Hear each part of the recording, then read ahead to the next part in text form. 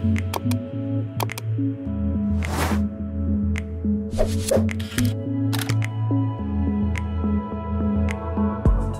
guys, if you've been looking for a way to connect your mirrorless or DSLR cameras to your phone as a monitor, then this is something you will need. This is the brand new Accsoon SeeMo. It's an HDMI to USB monitoring adapter.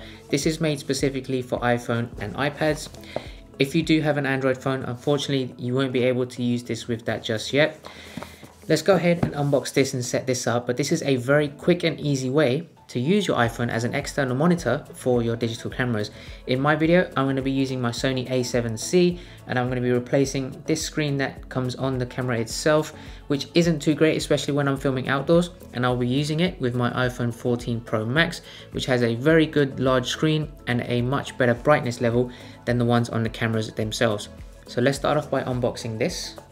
You've got yourself a user manual with very clear information of how to get this up and running, but it is very straightforward.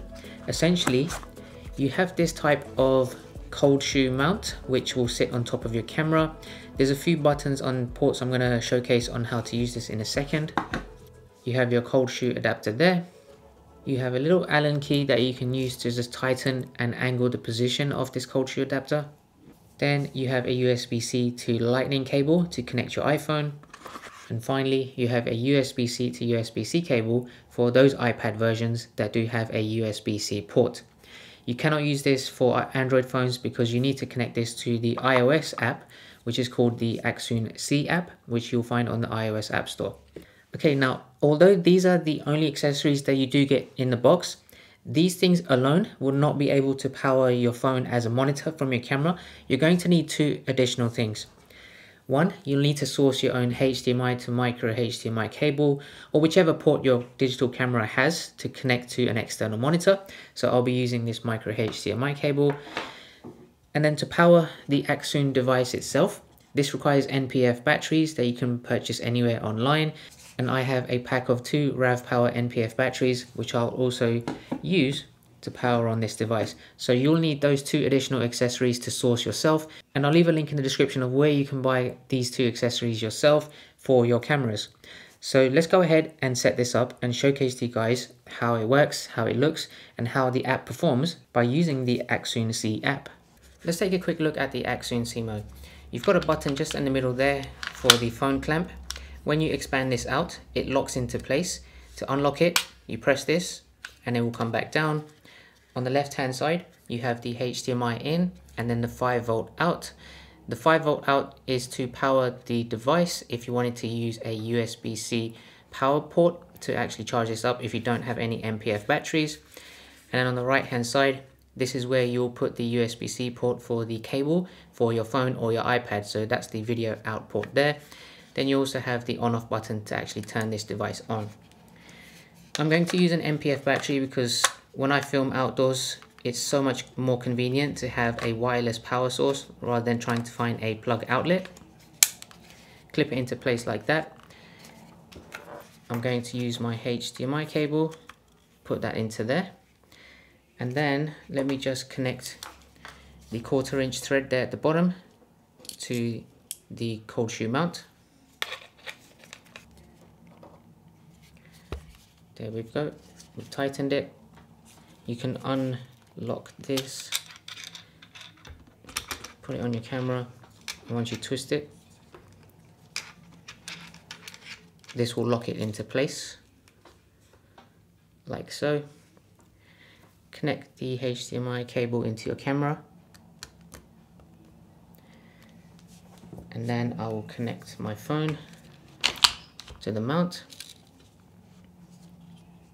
in fact, there's also an additional cold shoe mount at the top of the Accsoon device. So if you wanted to maybe put a microphone or a studio light or something like that on there, then you also have the option. And then the last step is to connect the USB-C end to video out, just on the other side. And then connect the lightning port to your phone. And that's it, quick and easy. The only thing I now have to do is turn on my camera and then I'll turn on the Accsoon device by pressing the on off button just to the side and then I will launch the Accsoon SEE app. Okay, so I've just connected a slightly longer HDMI cable because I want to maybe trial using this at a further distance than the camera. But nonetheless, everything is now connected. I've opened up the app. The first thing you need to do is hit the monitor button there. And you'll see it automatically loads everything that you see on your camera. So I think that's very quick and convenient. There's some apps that will allow you to connect to specific camera models that you don't need to have a cable for. But one of the key problems with that outside of the app itself is latency. This one, because it is connected directly with the cable HDMI in the Accsoon SeeMo, you get minimal to no latency at all because it will be exactly like having an external monitor. So let's just quickly test the latency. So I've got my lens here. I'm going to quickly zoom in and you can see on both screens is pretty much exactly instantaneous and it matches like for like. This is one of the key things where I would use this so often because I would like to see everything that happens in real time rather than seeing any type of lag. For example, I'll wave my hands and it doesn't matter how quick you do it, the quality on it will be exactly matched to what you see on your screen. And one of the other benefits to this as well is the screen quality of your phone will keep improving year on year. So if you do buy the latest iPhones, for example, you will always have better brightness, better screen display, better refresh rates, and all of those kind of things, which make it so much better than the actual screens, which are tiny, small, and never change on your mirrorless cameras. Now let's have a quick talk through of the functionalities of the app itself. Along the top, you have key information about your recording setup. One thing to note is this does max out the video input at 1080p at 60 frames per second. So if you wanted to have the input at 4K, then unfortunately that won't be able to occur in this version of the app, but that may change in a future update. It has H.264 video codec for encoding. Then you also have a 48K 16-bit audio input just there on the right with AAC encoding on the audio. Then you have a whole bunch of different options along the bottom there that you can see and I'll open them up to showcase all of the different capabilities of this app as well. So the first option there you can see is a toggle between black and white and color. In fact, if you hit the settings button just on the right hand side here, this will bring up all of the different options that you see along the bottom. Now with the RGB one, if I do turn that on, it's on red, but you can actually switch between green and blue as well to add that hue. If you go into histogram, I'll turn RGB off there's a whole bunch of additional options to show you the histogram as well if you want to switch between luma, the size, the position and the opacity as well. And then if you go into waveform, you can also do a very similar thing by changing all of the different options here for waveforms. If you want to see any focus peaking, then you can also adjust that there. You can set it to red. I'll actually turn this on. You can do green, blue, white. For me personally, I like the red ones and it just allows me to see you know where the focus on the camera lens is actually peaking and at what max level. You can adjust the levels as well in case you wanted to maybe focus on something a little bit more closer or further away. If you go into look you'll be able to select a external LUT file that you can attach from your phone.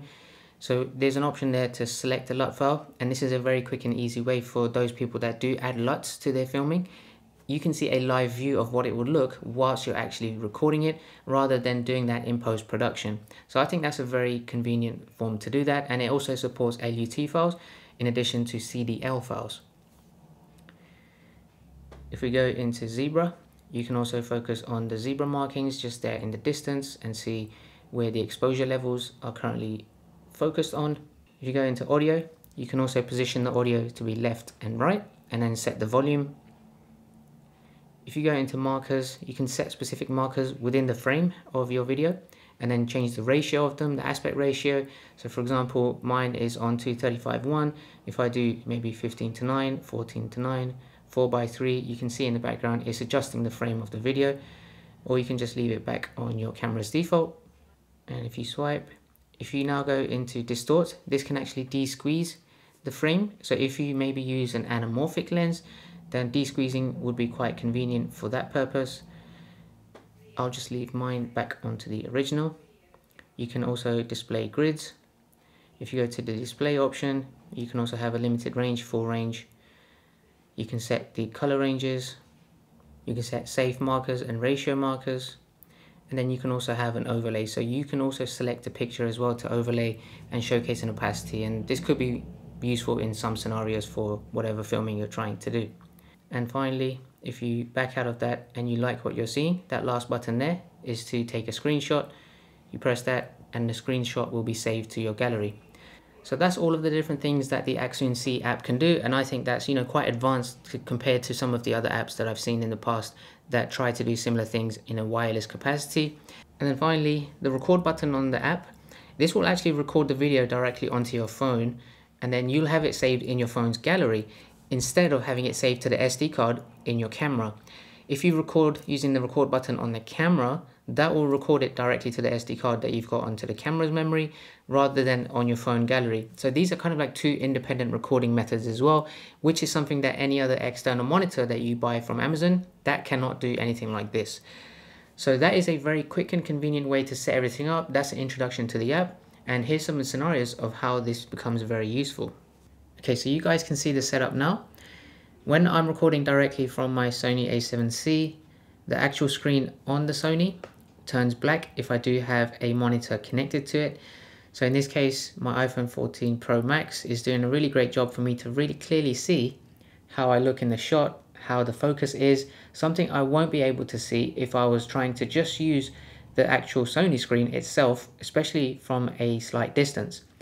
So for me, you know, the quality I think is absolutely great. And if I am going to be filming outdoors, this is going to make a massive difference because when I turn the brightness up on my phone, it just makes things 10 times clearer than anything that I can get from either the Sony screen itself or even some of the smaller compact monitors that I bought off of Amazon in the past.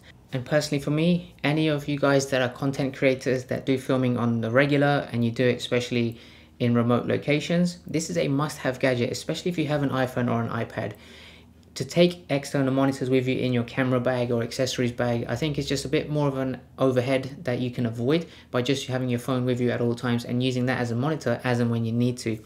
So for me personally, I think that's really great. Not only do you need to just use an iPhone with it, this can also work with an iPad. So let's go ahead and set this up with my iPad and see how this looks on a much larger screen. Of course, you won't be able to mount this on the Accsoon SeeMo device itself, so you'll have to have it separately, maybe mounted uh, just next to you on the side. But just to showcase a variety of the different options that you get with this device, let's take a look at that. Okay, so this is why I wanted to have a slightly longer HDMI cable connected because I've now connected this camera to my iPad Pro. You can see the cable, I've got it all the way along the side, connected to the Accsoon SeeMo device, and then connected that via the USB-C cable this time to my iPad Pro, and I do get a live view. And again it's a very quick and responsive view of your videos. And personally for me this is a really great way to get a live view of your filming so you get a better perspective to see if everything you're filming is actually in frame if the colors are right if the focus is accurate and all of those types of things one of the other key features about the Accsoon SEE app is live streaming. So if you are a streamer and you wanted to see yourself much clearly when you are live streaming to your audience, you can see next to the shutter button you have a live button. If you select this, you get a pop-up. What you can do is you can enter your stream code URL and paste it into there. Whether you're using it for YouTube, Facebook, TikTok, any other live streaming app, just enter the URL code, hit go live, and then you can go live directly from the app itself which I think is a very quick and convenient way to go living with a much higher quality camera, such as your DSLR or mirrorless camera. So I have the camera set up outside now. The camera itself is off. I've got the Accsoon SEE app on, but as you can see, nothing is being shown. If I turn the camera on, just takes a few seconds to load the live view into the app. And there we go.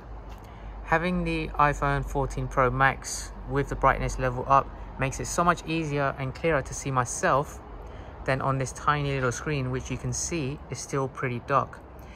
So at a distance, it's going to be so much easier when I do filming outdoors. I can just tap anywhere on the screen to go into full screen view, get rid of those options. And then from here, I can now start filming by seeing myself so much more clearly. And one of the most common use cases for you guys to actually get this product is when you do filming in remote locations, when you are outdoors. This is the perfect complementary thing to have with you because it just allows you to see yourself, especially when you're filming on your own outdoors to see if everything is in frame, if you've got the best shot, because the last thing you want to do is to film yourself, not clearly see that you wasn't in focus all that time, and then you have to do a reshoot. For me personally, when I am filming this outdoors, as you can see here, I find it so much clearer and easier to see if I've got the perfect shot the first time around and it saves me a lot of time and effort. And in my own opinion, for anyone that does own an iPhone and also owns a camera that does filming quite often, this is the missing piece of the puzzle for you to have the perfect camera setup. You literally just set this up within less than a minute and then you have an iPhone as a monitor and then you can actually use this as your go-to camera rig for most of your remote filming. So that's it guys, hopefully that review was very useful for you guys. If you do like this then do check out the link in the description, this was just released. I recommend if you are using an iPhone and you do a lot of filming and you create content, this is a must have in my opinion. So let me know if you guys have any other questions. Make sure to like this video. I've got new videos out every week with cool gadgets, much like this one. So make sure to subscribe so you don't miss any of those ones. And I will catch you guys at the next video. Take care.